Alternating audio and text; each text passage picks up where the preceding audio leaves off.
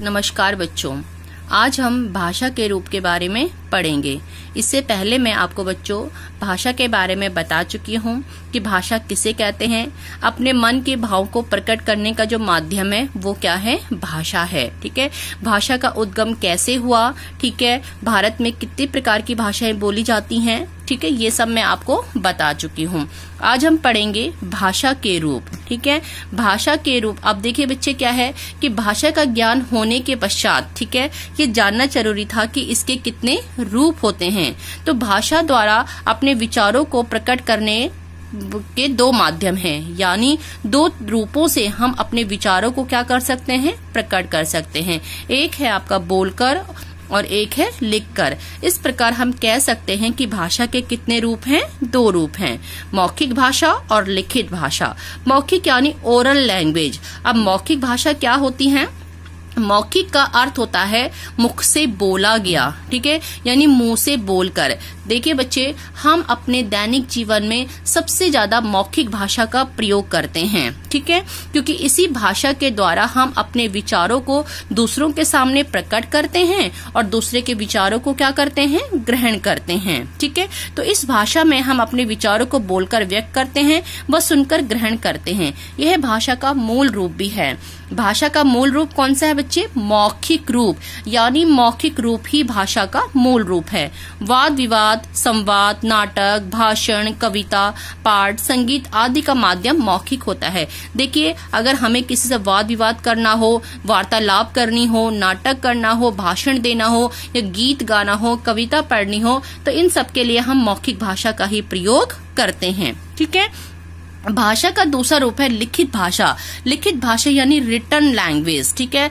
अब देखिए, भाषा के इस रूप में हम अपने मन के भावों या विचारों को दूसरों के सामने लिखकर प्रकट करते हैं, ठीक है? वह दूसरों के विचारों को भी लिखित रूप में क्या करते हैं? ग्रहण करते हैं, ठीक है? यह भाषा लंबे समय तक सुरक्षित रहती है।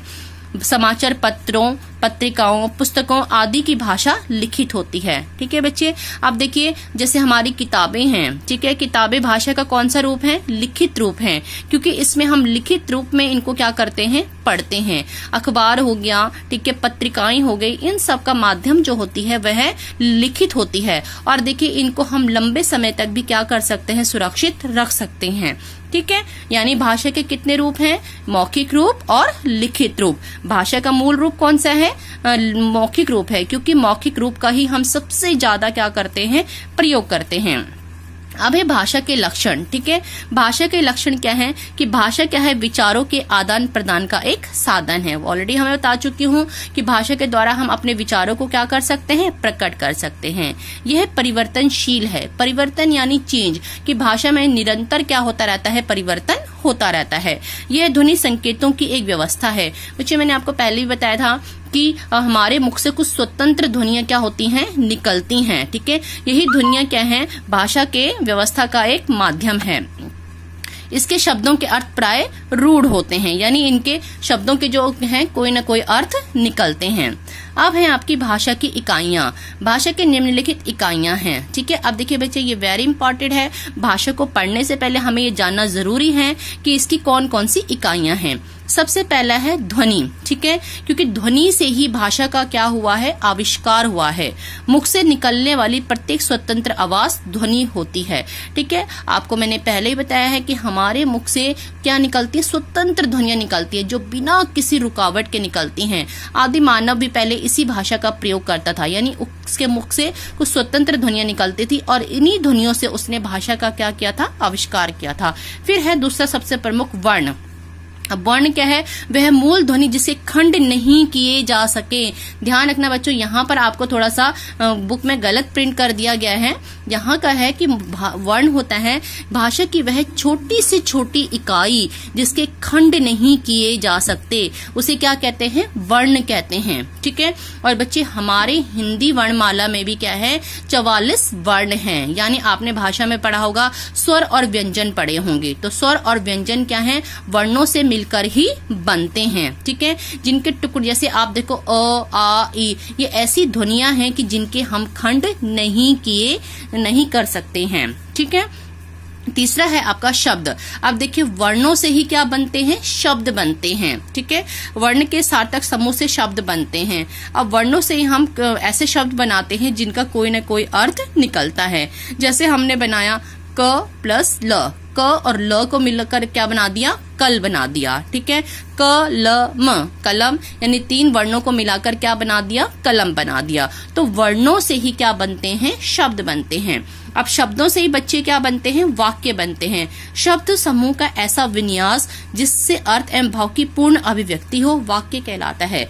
यानी वर्णों से शब्द बनते हैं, शब्दों से क्या बनते हैं? वाक्य बनते हैं। तो हम कह सकते हैं कि शब्दों का एक ऐसा समूह जो व्यवस्थित हो तथा कोई सार्थक अर्थ प्रकट करता हो, उसे वाक्य कहते हैं। ठीक है? सार्थक अर्थ यानी वाक्य का कोई ना कोई अर्थ अवश्य निकलना चाहिए। जैसे मोहन बाज़ार जाता है। अब देखिए समोहन भी शब्द है, बाज़ार भी शब्द है, जाता भी शब्द है और है भी शब्द है। लेकिन हमने इनको क्या कर दिया? व्यवस्थित कर दिया। और व्यवस्थित करने से क्या हो गया? इसका एक अर्थ निकल गया। यानी हमारा जो वाक्य है, वो अर्थपूर्ण हो गया। समझ में आया बच्चों? भाषा के कितने रूप हैं? दो रूप हैं, मौखिक और लिखित। अब हम तीसरा टॉपिक पढ़ेंगे, बोली। ठीक है? अब बोली क्या है? भाषा तो हम समझ गए, विचारों को प्रकट करने का एक माध्यम है, लेकिन बोली क्या है? देखिए बच्चे, बोली क्या है? भाषा का क्षेत्रीय रूप ही बोली कहलाता है। क्षेत्रीय का अर्थ है किसी विशेष क्षेत्र में बोले जाने वाली भाषा। देखिए बच्चे, जब कोई भाषा किसी सीमित क्षेत्र में बोली जाती है तो वो वहाँ की बोली बन जाती है। जैसे भाषा पूरे, भाषा का जो क्षेत्र है, वो विस्तृत है। यानी पूरे देश में भाषा का प्रयोग किया जाता है, लेकिन बोली जो है, वो देश के किसी विशेष स्थान पर ही क्या की जाती है? बोली जाती है। ठीक है? जैसे बोली में ही लोकगीत गाए जाते हैं, बोलियों का अपना कोई लिखित साहित्य नहीं होता।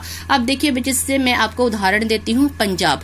पंजाब क्या है, एक सीमित क्षेत्र है और सीमित क्षेत्र में वहाँ के लोग मोस्टली कौन सी भाषा का प्रयोग करते हैं? पंजाबी भाषा का प्रयोग करते हैं। तो पंजाबी भाषा क्या है? पंजाब की क्या है? बोली है, जो पंजाब में ही बोली जाती है।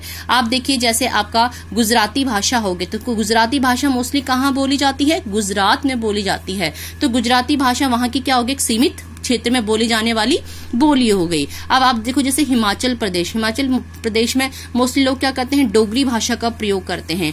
तो डोगरी भाषा क्या हो गई? हिमाचल में बोली जाने वाली वहाँ की बोली हो गई। यानी जो भाषा किसी सीमित क्षेत्र में बोली जाती है, वो वहाँ की क्या बन जाती है? बोली बन जाती है। बोली में मैंने आपको बता दिया, भाषा और बोली में क्या अंतर है? कि भाषा का जो क्षेत्र है, वो विस्तृत होता है। बोली का क्षेत्र बहुत सीमित होता है। बोली में लोकगीत गाए जाते हैं। बोली का अपना कोई लिखित साहित्य या रचना नहीं होती है। देखिए बच्चे, बोली में भी कोई साहित्य या लिखित रचनाएँ नहीं की जाती है। अगर उसमें कोई साहित्य रचना होती है तो वहाँ की उपभाषा बन जाती है। ब्रज अवधि बोलियाँ थी, किंतु सूरसागर व रामचरित मानस की रचना के कारण उपभाषाएँ बन गई। देखिए, ब्रज और अवधि जो भाषाएँ थी, वो भी क्या थी? बोली थी। लेकिन जो तुलसीदास जी थे, सूरदास जी थे, उन्होंने अपनी रचनाएँ किसमें की थी? ब्रज और अवधि भाषा में की थी। इसीलिए ये क्या बन गई? उपभाषाएँ बन गई। ठीक है? अब देखिए, आपका आगे क्या है? हिंदी की बोलियाँ।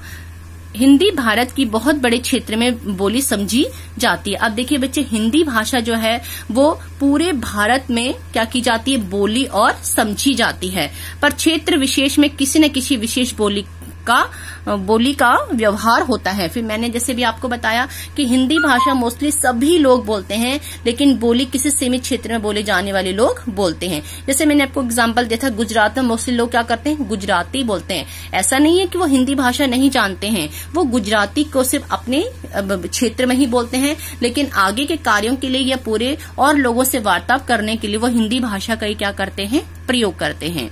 अब हिंदी की ही कुछ प्रमुख बोलियाँ हैं, जैसे हरियाणवी, राजस्थानी, ब्रज, अवधि, भोजपुरी, छत्तीसगढ़, बघेली बुंदेली, मगधी, मैथिली आदि भाषाएँ हैं। अब है भाषा व बोली में अंतर। वो मैंने ऑलरेडी आपको बता दिया कि भाषा व बोली में अंतर है। भाषा का क्षेत्र विस्तृत है, जबकि किसी स्थानीय क्षेत्र में बोली जाने वाली वहाँ की भाषा बोली होती है। भाषा में साहित्य रचना होती है और बोली में कोई साहित्य रचना नहीं होती। भाषा में ही हमारे जितने भी राष्ट्रीय कार्य, यानी राजकाज के जितने भी कार्य हैं, वो भाषा में ही किए जाते हैं। बोली का प्रयोग केवल विशेष क्षेत्र में बोलचाल के लिए ही किया जाता है। ठीक है? भाषा का रूप स्थिर और मानक होता है, जबकि बोली का रूप गतिशील और अमानक होता है। समझ में आया? इसके बाद देखिए बच्चे, हमारा जो नेक्स्ट टॉपिक है वो है लिपि। अब भाषा हमने पढ़ लिया, भाषा के रूप पढ़ लिए, लेकिन अब भाषा के लिखने का जो रूप है, उसे क्या कहा जाता है? उसे लिपि कहा जाता है। ठीक है? मौखिक रूप से निकलने वाली ध्वनियों को अंकित करने के लिए विभिन्न भाषाओं में अलग अलग चिन्ह निश्चित किए गए हैं। इन चिन्हों को लिखने की विधि ही लिपि कहलाती है। अब देखिए, हर भाषा में शब्द वर्णों को लिखने के लिए कुछ निश्चित चिन्ह निर्धारित किए गए हैं। इन्हीं चिन्हों को लिखने की जो विधि है, वो क्या कहलाती है? लिपि कहलाती है। वर्णों या अक्षरों को लिखने की निश्चित व्यवस्था को क्या कहा जाता है? लिपि कहा जाता है। देखिए बच्चे प्रत्येक भाषा की अपनी लिपि होती है। जैसे हिंदी की लिपि क्या है? देवनागरी है। देवनागरी लिपि पे ही संस्कृत, मराठी, नेपाली आदि भाषाएँ भी लिखी जाती हैं। देवनागरी लिपि का विकास ब्राह्मी लिपि से माना जाता है। इसे नागरी लिपि के नाम से भी जाना जाता है। ठीक है? यानी हमारी जो भाषा है, हिंदी भाषा है, इसको लिखने के लिए जो लिपि है, वो क्या है आपकी उसे लिपि कहा जाता है और वो लिपि है आपकी देवनागरी लिपि। देवनागरी लिपि का विकास ब्राह्मी लिपि से हुआ है। अब देखिए बच्चे, जैसे और भाषाएँ हैं, अंग्रेज़ी भाषा, इसकी लिपि क्या है? रोमन है। जर्मन जर्मन भाषा की लिपि कौन सी? रोमन है। अरबी की फारसी है। फारसी की फारसी है। उर्दू की फारसी है। संस्कृत की देवनागरी है।